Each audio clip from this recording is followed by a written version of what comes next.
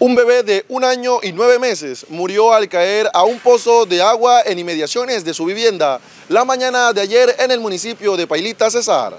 Flotando en un pozo de agua, aledaño a su residencia, fue localizado el cadáver de un niño de un año y nueve meses de nacido, la mañana de ayer en el municipio de Pailitas, Cesar.